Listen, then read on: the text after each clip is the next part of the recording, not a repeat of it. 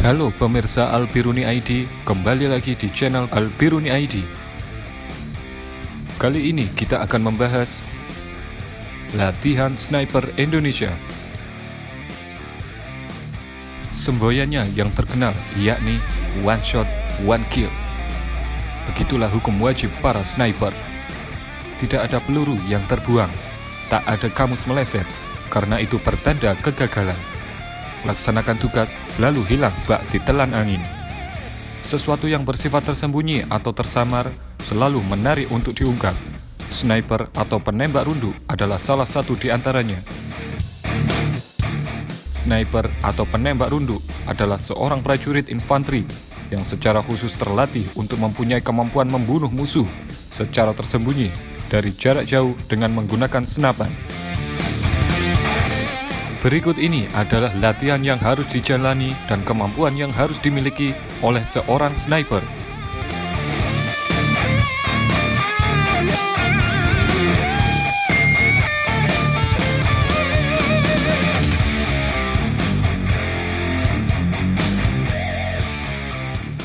Kamuflase Dalam melaksanakan tugasnya, sniper harus selalu dalam posisi tersembunyi Sekali ia menampakkan diri, dia akan berbalik menjadi orang yang diburu dan menjadi sasaran tembak kontra sniper. Karena syarat utama menjadi seorang sniper adalah memiliki keahlian melakukan penyamaran dan kamuflase agar tetap tak terlihat oleh musuh. Dalam rangka kamuflase itulah sniper khususnya yang berada di medan perang mengenakan pakaian khusus yang disebut dengan seragam gili. Istilah gili berasal dari Skotlandia Dulu, Gili adalah seorang laki-laki yang ditugaskan oleh pemilik tanah di dataran tinggi Skotlandia pada akhir tahun 1800-an.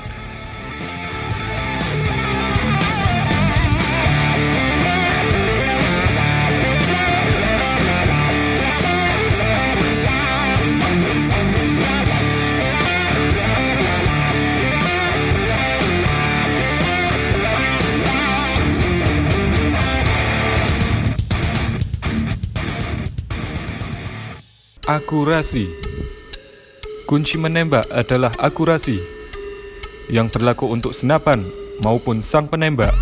Seorang sniper harus memiliki kemampuan secara akurat memperkirakan berbagai faktor yang mempengaruhi lintasan peluru dan titik impact seperti jangkauan target, arah angin, kecepatan angin, ketinggian sniper dan target, dan temperatur di sekitarnya. Sniper dapat mengarahkan senjatanya ke titik nol pada sebuah target ini adalah proses menyesuaikan teropong sehingga titik impact dari peluru pada titik tujuan untuk jarak khusus. Sebuah senapan dan teropong harus tetap pada titik nol selama mungkin di bawah semua kondisi. Hal ini untuk mengurangi kebutuhan untuk mengembalikan ke titik zero selama misi.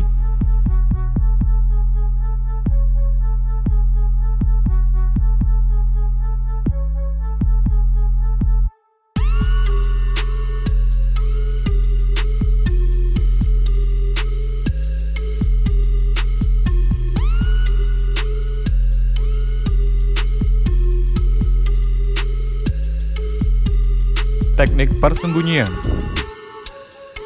Istilah tempat persembunyian berarti posisi yang tertutup atau rahasia, tempat seorang sniper dan timnya melakukan pengamatan dan melakukan tembakan.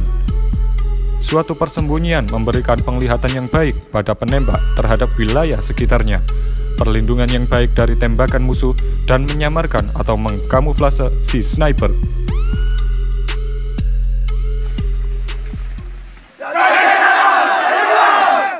Penempatan tembakan Penempatan tembakan sangat bervariasi tergantung pada jenis senapan sniper.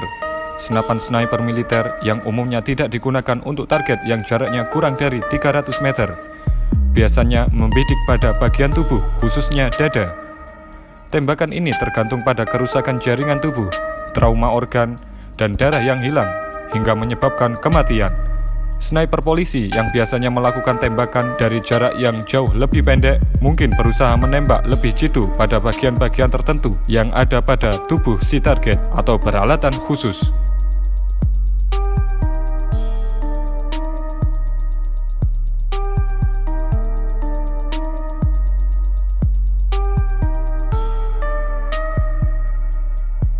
Membidik target Sniper dapat membidik orang atau benda, tapi paling sering mereka membidik musuh yang paling penting seperti perwira atau spesialis, yaitu operator komunikasi, sehingga menyebabkan gangguan maksimal terhadap operasi musuh. Personel lainnya yang menjadi target termasuk orang-orang yang menunjukkan suatu ancaman yang segera bagi sniper, seperti para pembawa anjing yang sering ditugaskan untuk mencari sniper. Apabila mungkin mereka menetapkan target menurun sesuai urutan kepangkatan, atau apabila tak ada orang yang berpangkat, sniper menembak untuk mengacaukan situasi.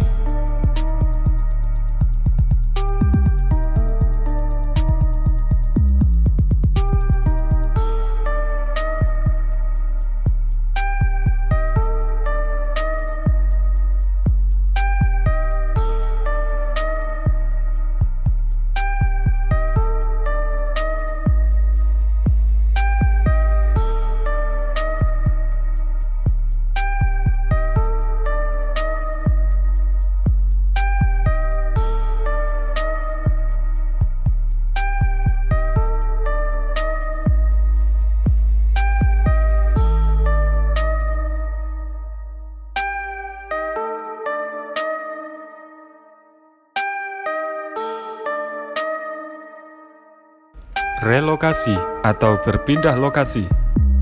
Sering dalam situasi banyak target, sniper menggunakan relokasi. Sesudah meluncurkan beberapa tembakan dari posisi tertentu, sniper bergerak secara tak terlihat ke lokasi lain sebelum musuh dapat menentukan di mana ia berada dan melakukan serangan balik. Sniper akan sering menggunakan taktik ini untuk menyelamatkan diri, menciptakan atmosfer kekacauan atau kebingungan dalam situasi lain yang lebih jarang, relokasi juga digunakan untuk mengurangi faktor angin.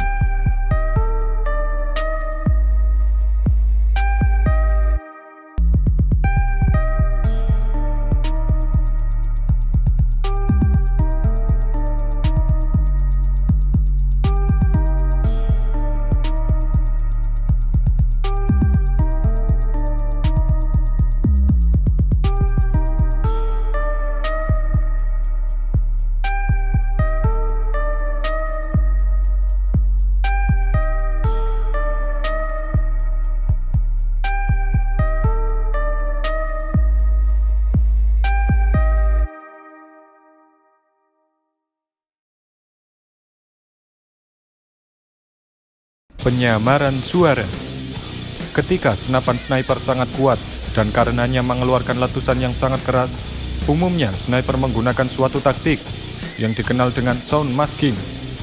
Taktik ini di tangan seorang penembak jitu yang sangat terampil dapat digunakan sebagai pengganti peredam suara. Suara yang keras dalam lingkungan seperti ledakan di udara proyektil artileri atau tepuk tangan gemuruh sering dapat menyamarkan suara tembakan. Teknik ini sering digunakan dalam operasi rahasia, taktik infiltrasi, dan perang gerilya.